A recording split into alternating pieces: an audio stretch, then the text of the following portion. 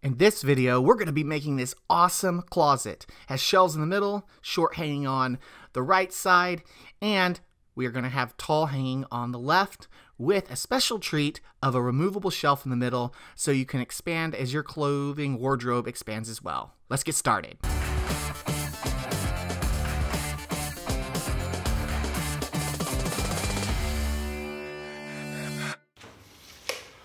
We're down here in my wood shop. I've already cut my boards to the width that I like. I have a specific width that I like to work with in my closets. If you wanna know those specific dimensions, click the link above to download the plans. It gives you all those details that you need, and also it provides you access to any questions you may have about this build. So what I did uh, is I took a four by eight sheet of three quarter inch plywood and ran it on my table saw over there and cut them to the width that I like. Now what we're gonna do is we're just gonna use my miter saw and cut the lengths that I need and start assembling. Let's go do that.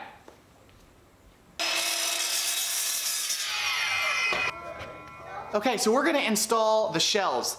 And the way we're gonna do that is we're gonna Kreg jig it. That's a term that I like to use, but actually we're gonna be using the Kreg Jig R3 to create pocket holes.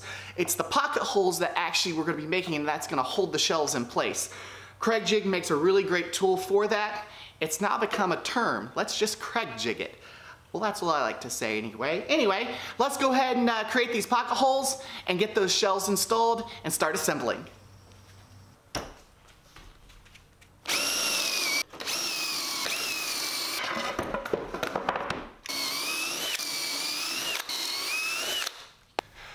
All right, so I've laid everything out on my table over here. We're gonna be assembling the shelves soon, but before we do, I'm gonna paint it. I'm gonna use a paint roller. It's super simple. I'm gonna paint one side, let it dry, flip it over, and paint the other side, and then we're going to put it all together. All right, well, let's get painting.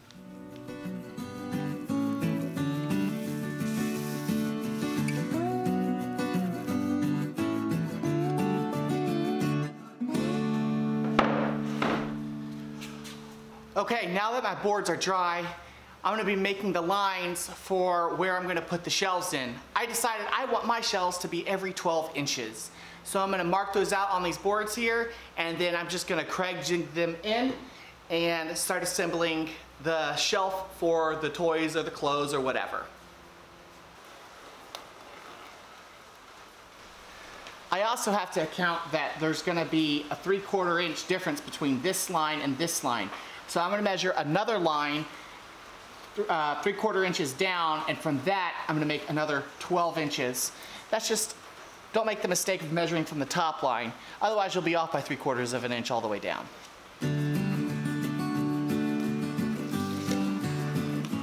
Okay, we're about to Kreg jig uh, the shelf in. This is the first shelf that's going in. I've enlisted my dad here, is my helper. And one trick that I've learned to hold this in place while you're Kreg jigging is to use a clamp. So let's put the clamp in and then we'll start using some screws and tightening everything up. I always like to put my torque on uh, so I don't go all the way through and it stops it. So usually 11 is where I like it.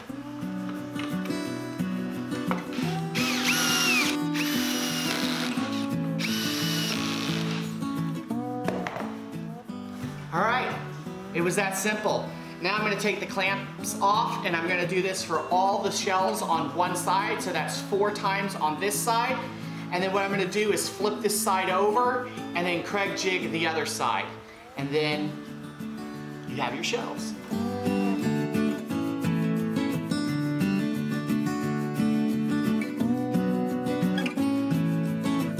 Okay, so we finished building the main portion of our closet, the shelves. You saw that technique and how we did it using Kreg jigs and pocket holes and all those different types of techniques.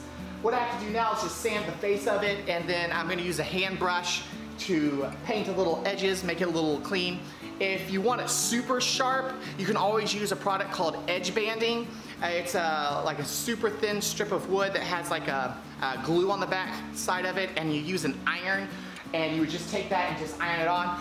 Uh, if you want to see how I did that, I used edge banding in my pantry video. So if you haven't, check out the pantry video to see how you can use edge banding. I'll put that link in the description below. But for this project, I'm just gonna sand it and just paint it. It'll look really nice. And then uh, after that, I'm gonna take this upstairs to my guest bedroom and do the installation. It's gonna come in three parts. This is the shelf. The next part will be the top. And the next part will be a side shelf that I over, have over here for your short hanging, and then over on this side will be the long hanging. So instead of uh, me taking all the time to show you how I'm sanding, all you guys know how to sand and paint, I'm gonna cut that part out and we're just gonna go straight upstairs to the installation.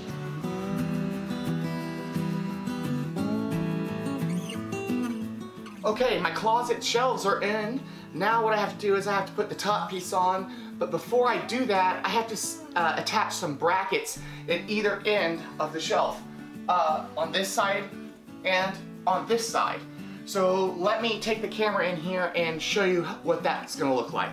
So what this is gonna do is this is gonna sit right like this, and I'm gonna put a screw in here and I'll probably put a temporary screw right here because there's no stud there. In order to get this to adhere to the wall correctly, I'm using liquid nails. So liquid nails will bond to the wall and hold this in place and it'll give me plenty of strength and support to hold any weight that's on top of the shelf.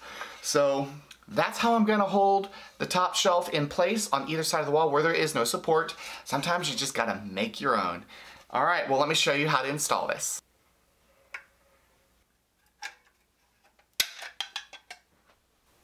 I'm trying to find a place to put this. Okay, so we have the liquid nails. It's all spread out on this piece of wood. Now I'm just gonna line it up here and screw it in. Let me get my screwdriver and my nail.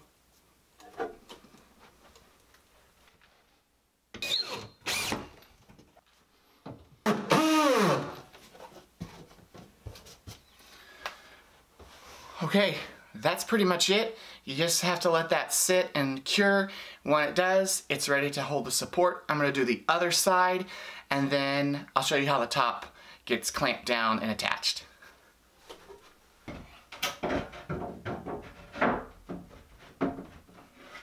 Okay, I just put the top shelf in. Now I have to secure it to those supports that I put on the outside and to the shelves right in the middle. Let me show you how I do that.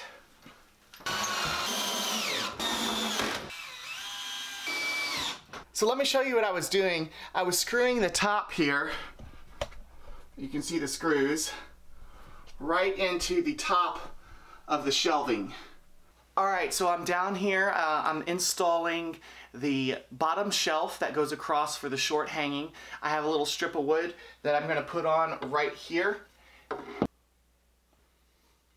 All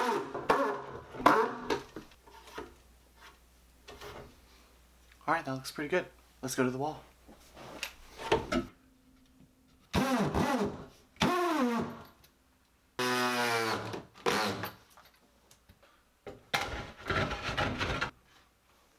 This is the bottom shelf. This one's the removable shelf. Uh, that's just for flexibility later down the road. And uh, there you have it. It's done. Super simple. And now what we have to do is hang the, the rods from here to there, and let me show you how to do that. So when I build a closet, I like using the heavy duty, ultra robust um, hanging sockets, I guess is what you call them. Uh, I picked these up at the store. Uh, I like them because they're metal, they're heavy duty, and they're white and I have never had a problem with these failing or causing me issues down the road. So this is what we're gonna be installing for our clothes to hang in the closet. I've marked everything and now I just have to screw it in.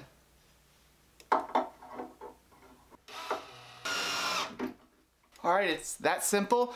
I already did the other side, so now let me just put the rod in. Done. Now I have to do this two more times, one for the bottom one that I have below here, and then one for the other side. And then the closet will be complete. All right, the closet's done. It came out great. You have short hanging on this side we have shelves in the middle, and we have tall hanging on this side. If you like this closet design, click the download the plans button right here and you can build it for yourself. You can make modifications to it if you want, but it'll give you all the dimensions that you need to make this closet. And if you like this video, give me some thumbs up. I'd appreciate it. It helps me though know that you like this type of content and want to see more. Also, don't forget to subscribe. I'd appreciate that. Alright, well, I'll see you on our next build. I'll see you later.